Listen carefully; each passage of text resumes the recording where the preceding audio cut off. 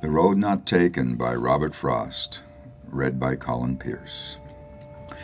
Two roads diverged in a yellow wood, and sorry I could not travel both, and be one traveler, long I stood, and looked down one as far as I could, to where it bent in the undergrowth. Then took the other as just as fair, and having perhaps the better claim, because it was grassy and wanted wear, though as for that the passing there had worn them really about the same. And both that morning equally lay in leaves no step had trodden black. Oh, I kept the first for another day, yet knowing how way leads on to way, I doubted if I should ever come back.